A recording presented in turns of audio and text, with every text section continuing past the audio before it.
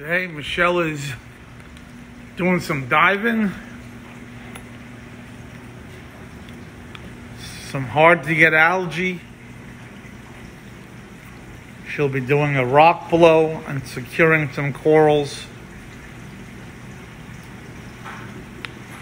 Various other stuff, testing some new pieces of coral also in here to get ready for the next two weeks where we expect majority of the coral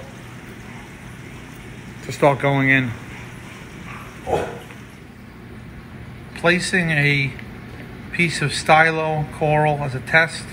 The butterflies want to taste it so badly. See?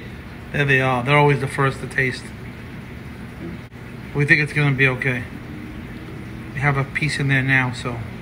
And we're going for the traditional detritus. Wow, it's it was way overdue and overtime. Whoa, is this stuff gonna be?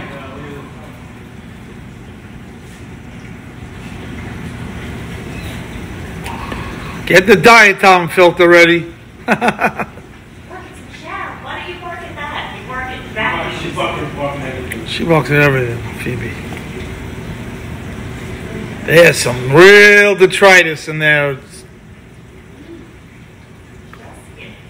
This is really important, especially when you're dealing with big system.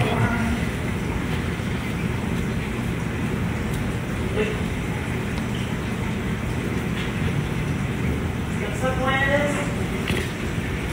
Well, my wife asked the point, and the point is is the point of this? there was like detritus and bad bacteria and all these bad organisms and um, bad algae, diatoms, and this is all waste food that goes and the filter will catch it essentially. Thank you for that update, Poseidon. Yeah. It also keeps the rock healthier, not clogged up and, and able to denitrify better and stuff.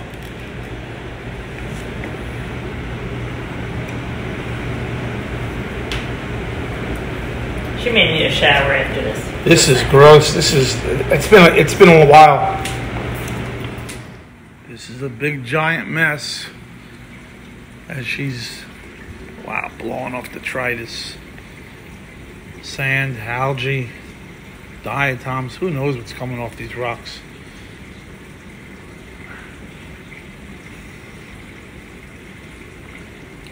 We actually changed the pleated filter cartridges yesterday, last night.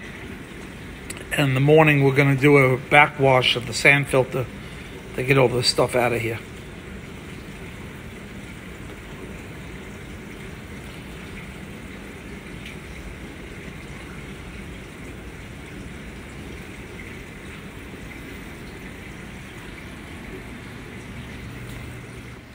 And the net result, after about 40 minutes of diving and blowing rock, fish seem to always school after these kind of things. I think it's either nervousness,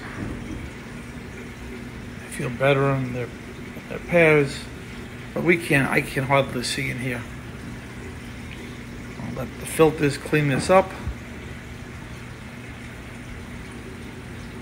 do about a thousand to fifteen hundred gallon backwash tomorrow in the sand filter.